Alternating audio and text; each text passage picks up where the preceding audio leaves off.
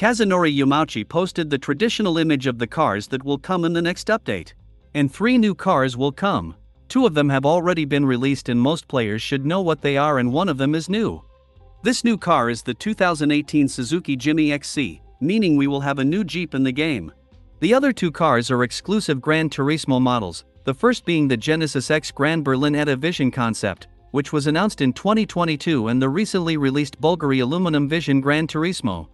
We don't know if a new circuit will arrive, we'll only find out on Wednesday, when the trailer arrives. This year there should be three circuits.